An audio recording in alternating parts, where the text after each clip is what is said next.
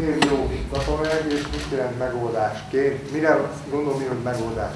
Remélem, mire befejezzük a beszélgetést, hogy fogjátok látni, hogy majdnem mindenre.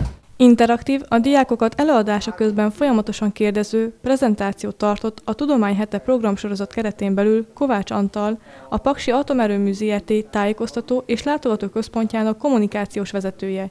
A bemutató központi témája az energia volt. Annak beszerzési és felhasználási módjairól is beszélt az előadó.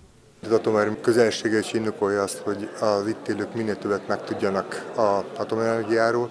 Három szintről fogok beszélni. Egyik a világ, hiszen nagyon sokat hallunk globális felmelegedésről, és a világot érintő kívásokról. Erre is egy heles válasz az atomenergia. Beszélek a, az országos helyzetről, hiszen olyan komoly villamosenergia igény növekedés, illetve több mint 30%-os import jellemzi már ma is a hazai energiahálózatot, amin az atomenergia a további bővítést tud változtatni, illetve egy pár szót arról is, hogy a régiónak mit jelent. És szeretnék egy picit arra kapacitálni a fiatalokat, hogy tanuljanak fizikát, matekot, és minél többen legyenek mérnökök, mert ez egy olyan életpálya lehet nekik is, ami megoldás az ő személyes életükbe, és ugye, ahogy az elején mondtam, a világ megmentésében is, tehát a globális felmegésben, a harcban is egy, egy nagyon fontos szereplő, tehát aki oda jön hozzánk dolgozni, ez mindenki is lehet.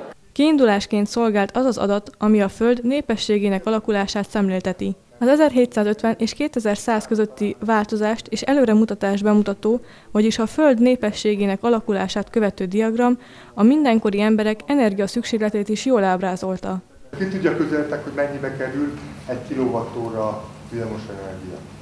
Tette fel kérdését, amelyre helyes válasz nem érkezett. Ennek kapcsán szóba kerültek a napelemek és a szélerőművek is. Míg azok függenek a napsütéstől, illetve a szélfúvástól, az atomerőmű stabilabb ellátást nyújt. Most például egy olyan helyzet áll elő, hogy ahogy melegszik a, a ö, föld, azok a ö, tundrán lévő egyébként örök fagy határon felül lévő területek is olvadnak föl, és nagy mennyiségű metán szabadul ki belőlük, ami szintén a széndiokszidnál több tízszerrel jobb üvegházhatással bír. Az előadó rámutatott a káros tényezőkre, melyek üvegházhatást, klímaváltozást okoznak. Ilyenek például a széndiokszid, metángázok, amelyeknek forrásai a szén, olaj, gáz égetése, fosszilis tüzelőanyagok, műtrágyák, erdőírtások. Az atomenergia használata ebből a szempontból is szerencsés.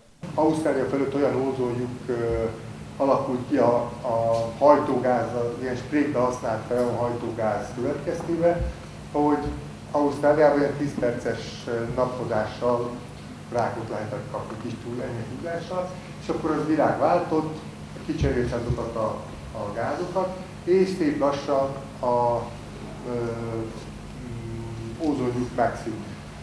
Ez nem azt jelenti, hogy tuti a két dolog összefüggésben áll, Ismertette az atomerőmű működését, az új blokkok státuszát és hazánk mostani energiahelyzetét. Magyarország energiahasználati stratégiáját összehasonlította a német, a dán és a francia rendszerrel. Az új atomerőmű a következő száz évre biztosíthatja az energia szükségletet. Kovács Antal számokkal támasztotta alá előadásának mondani valóját. És az történik, hogy akkor is bemegy a rendszerbe ez a megújuló energiaforrás, amikor éppen süt a nap és születszél, amikor nincs rá szükség, akkor is át kell venni, ez esetben negatív ára alakul ki az áram. Negatív ára van, még azért, hogy valaki ezt felhasználja vagy elvigye, még fizetnek is neki. Mert a villamosenergia rendszer sajátossága, hogy mindig pontosan annyi energiának, villamosenergiáramnak kell benne lenni, mint amennyire szüksége. És miután kötelező átvenni a megülőktól, tolják bele a, az áramot, nincs